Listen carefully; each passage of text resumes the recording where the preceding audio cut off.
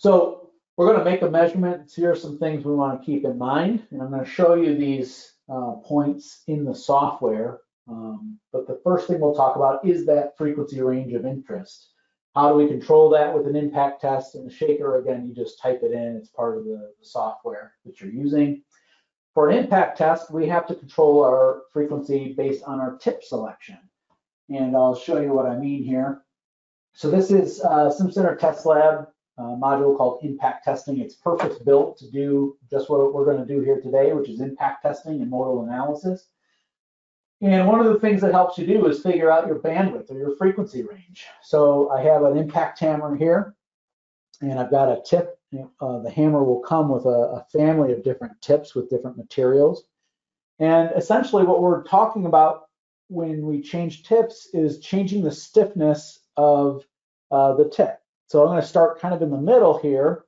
And this is sort of a plastic nylon uh, tip. It's a little bit stiff, but not, not too stiff. I'll hit my structure. And I'm going to direct your attention to this upper left plot here. And this is that frequency spectrum of our force channel. So we're seeing this auto power. And in the PowerPoint, it was a nice flat line, right?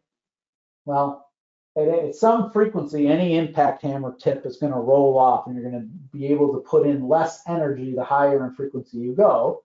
And so the first thing that I learned when I learned how to do impact testing in school was I want to only use the first 10 dB or so of my force spectrum. So in this case, I've got two cursors 10 dB apart. I put this right up at the top and I see where my input spectrum crosses this 10 dB downline and that tells me that in this case, this tip for that impact is good to about 1800 hertz. Okay, so I don't want to look at frequencies in my structural response very much past 1800 hertz because I'm not putting enough energy in.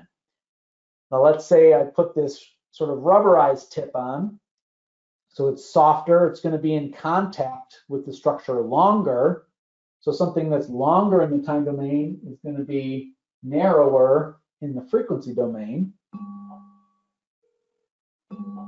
And we see how quickly this auto power rolls off. So in this case, for my rubber tip, I would use this if I have a very low frequency um, concern on my structure. I don't want to know what's going on, you know, at a thousand or two thousand hertz. So I'm interested in, in this case, this tip is good up to about 350 hertz. Okay, so I really only want to put energy into my structure in the range that I'm interested in.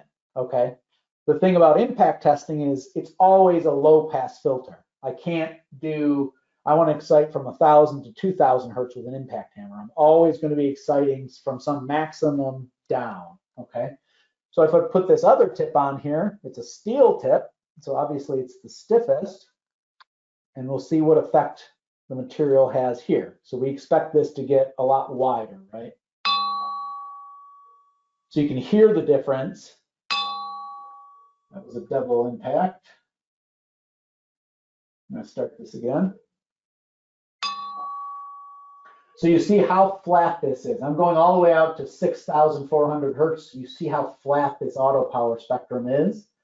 Um, and so I have plenty of frequency range with this tip.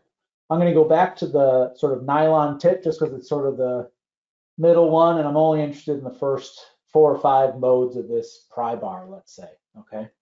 So I'm going to figure out exactly how high I can go in frequency with this guy.